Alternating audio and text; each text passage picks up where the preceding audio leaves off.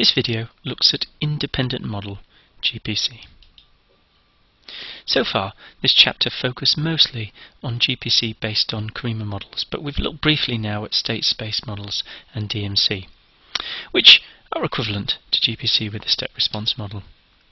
However, one widely used alternative in the literature is what's called an independent model.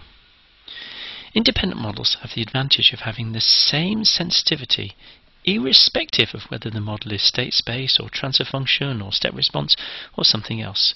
And in simple terms, what you're doing is you're basing your predictions primarily on input information with minimal use of measured outputs to form the predictions. So that's what independent models share in common. They focus their predictions primarily on input information. Here's a typical independent model structure then. What you'll notice is we have a real process and you have an input going into that real process. And what we do is in parallel with the real process, we run a simulation of a system model. And that gives us a model output. So whenever we get an input, we always put it into the real process and into the model. However, obviously, the model is not offset term. What we do is we measure the real output measuring the real process, compare it to the model output, and that gives us this offset term, which tells us the difference between the two. Predictions now are going to be based upon solely the model. We've got an input going into the model, we've got an output coming out of the model, and we're going to use these two values to form the predictions and then use this offset term to give ourselves a correction. Now that was discussed briefly in video 10 of chapter 1. A common tool to ensure unbiased predictions is the use of a disturbance estimate or an offset term, D. This term captures both the actual system disturbance, but it will also cater for any errors in the parameters. This is a reminder then of what we did in the first chapter. In essence, therefore, the future predictions for the process output are given by model predictions, so that's what that term, term there, model predictions, plus some offset term, where the offset is defined by what we've got here, a process output minus the model output, and that gives us the offset term. And we have the predictions using the model alone, and the predictions using the model and the offset term. Now we did cover that in chapter 1, but that's basically the concept that will be used with independent models. The underlying model could be transfer function, or it could be state space, or it could indeed be any form you like. If it was transfer function then, I would have a model prediction, which is the bit I've just put in the red box there, and you'll say, yeah, that looks just like the CARIMA model predictions I did earlier in this chapter. But I add to it this correction term, this offset term. Similarly, I could do state space predictions, and I could say if I had a state space model and I just take my model with the state x and the future input u, those are the predictions I get, and then you'll see I've added to it the offset term. Substituting these predictions into a simple performance index, you're going to get the following sort of steps. So I'm going to do this very quickly because this replicates what's done at the beginning of this chapter and you don't want me to dwell on the algebra. So I take my predictions, there they are, I substitute them into my performance index and that gives me what's in this yellow box here. I then do a minimization with respect to the future control increments and the control law comes out like this at the bottom. And you'll notice the only difference between this and GPC is this additional term at the end which is the offset term. If I expand it out, so I use all the um, same algebra that we used in the earlier videos on predictive control. So again, I won't dwell on it. You'll find you can get a compact form as we've given here, the standard compact form. Again, the difference is I've got an extra term here at the end multiplying on this offset term. And I can define what those parameters are if I need to. Please do pause the video if you need to look at this algebra more slowly. If I now put it into transfer function form, which you'll see is the same as we did in video 2.3, you'll find I get the same denominator, the same feed forward, the same numerator as I got in those videos, but the difference is I get an extra term here on the end, which comes from the offset. Let's look then at how I would implement this if I wanted a block diagram equivalent. Well, your pre-filter, with feed forward from the target, is the same as before. The model output goes through NK, same as before, but the difference is that what's going through NK is the model output, not the process output. And hopefully you can see that down here. The denominator of the controller is the same, goes in the same position, comes out of this summing junction, so it all looks the same. Now the difference is that we're going to get some action based upon this offset, and therefore you get this mk term over here. And that's the main difference. The nk is based upon the model output, and in order to cater that, we have this additional mk term down here. So there's an equivalent block diagram, just in case you need it. If I do some MATLAB code then to compare independent model GPC with normal GPC, and you'll notice a comment here that independent model GPC gives equivalent noise rejection to DMC. And what do you notice? You can see that the noise rejection from independent model is much better. It's less sensitive to measurement noise than CARIMA based GPC. So in other words, when you have an independent model, you might say, well, I don't need a T filter because I've got good noise rejection already. Let's go to MATLAB and see some of this code in case you want to look at it yourself.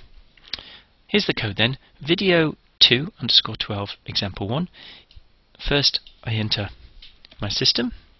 I enter my prediction parameters and things like that. I enter my set point disturbance and noise and then you'll see there's this file imgpc underscore tf so it's a transfer function independent model simulate no constraints. So I can run that. And there's your responses. Now at the moment I've got no noise, I've just done a set point tracking and a disturbance rejection. You might want to say, okay, let's compare this with what I get if I do a standard GPC. So that's what's lower down on this code. Now I'm going to run the first four lines, and these include some noise, but then what I'm going to do is point you to this warning. It says the next file is in a different folder.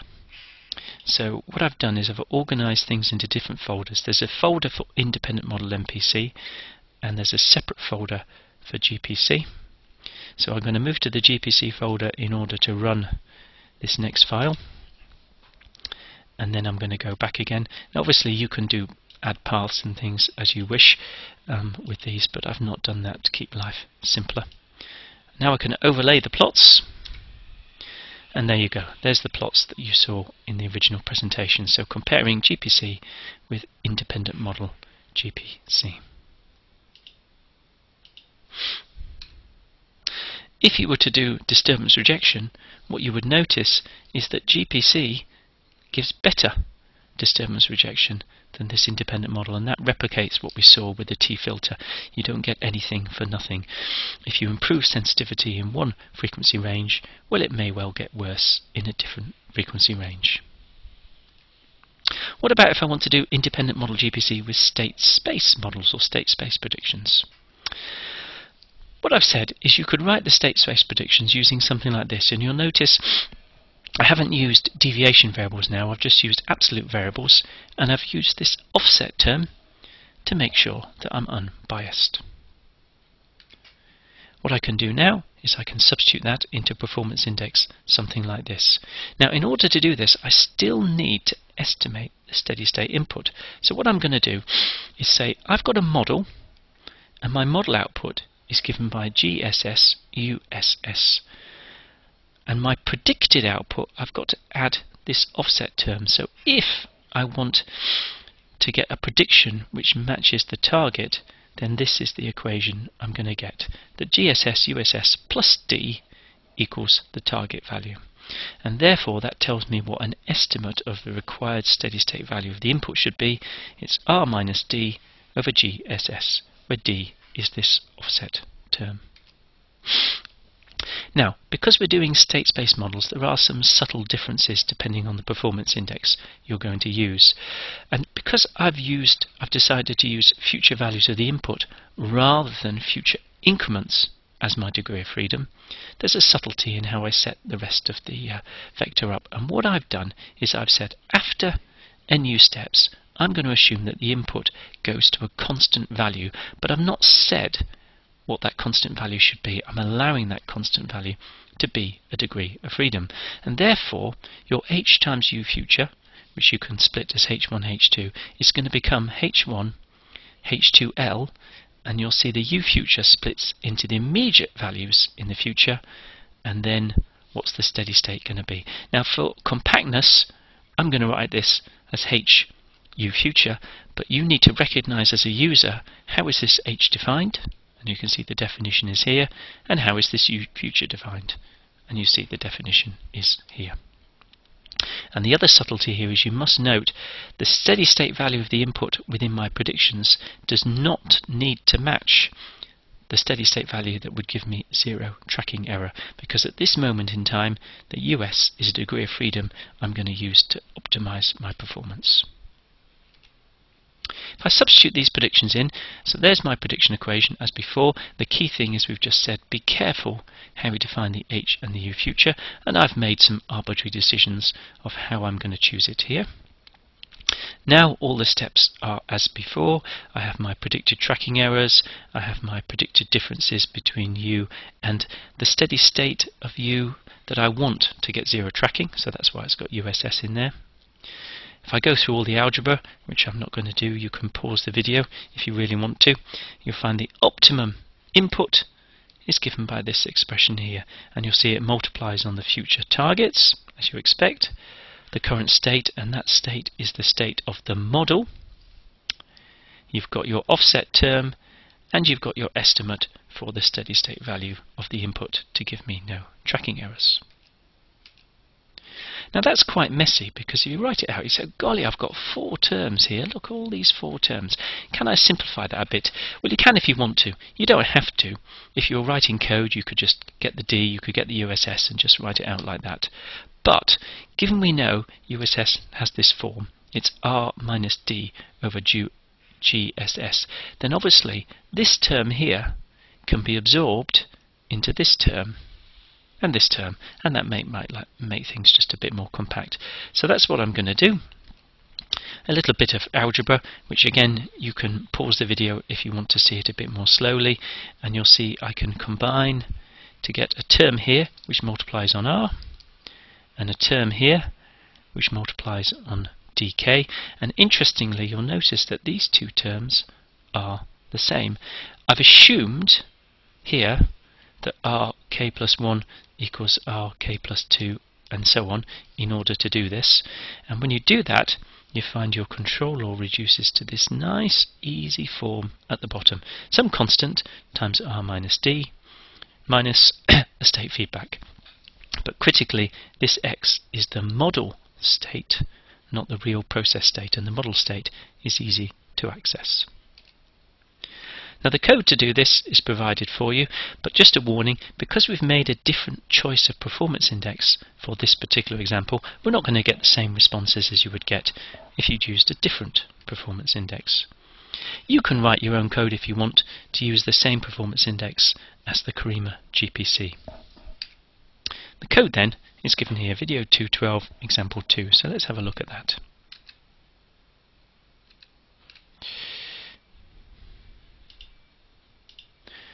Here's the code then. And what you'll notice is it defines a state space matrix, it puts some weightings and some horizons, gives an initial state, defines a reference, a disturbance and a noise, and then at the end you'll see there's this model, independent model, GPC, and then it says state space, simulate no constraints. You can of course unpack that model and if you want to look and see how it works, a key thing you might notice is within the simulation loop it's got simulate your model, and I've used subscript M for model, and simulate the process, I've used subscript P for the process. And you do need to include within your control law is in fact this simulation of the model because you have to update the model states. Let's run the file then. And what the file will do is this particular one is showing tracking performance, disturbance rejection and noise rejection all in the same figure but clearly that definition is based here and you can change that to suit your own needs.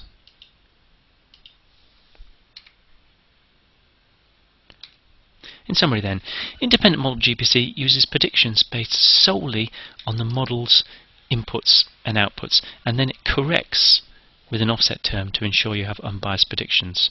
By doing this, you're desensitizing the predictions to measurement noise because, in essence, your predictions are mostly based on past inputs.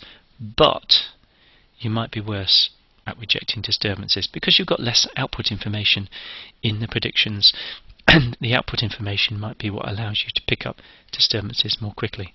The coding is almost identical to GPC using the same model format, but the only difference is how the control action also depends on the measured offset.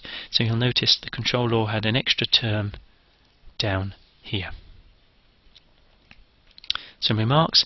It can be shown that Carima-based independent model GPC is equivalent to DMC as both base predictions solely on past inputs and a linear model using the offset to correct for any bias. However, independent GPC is easier than DMC because predicting with transfer function or state-space models is quicker and easier. It's more compact. Basically, you need fewer parameters. You can also do IMGPC using state-space models, and in this case, you don't need an observer. And you might say, great, don't need an observer, that makes life much easier. But do remember, the fact that you have a simulation of the independent model embedded within your control law suggests the independent model is in, in essence acting like an observer.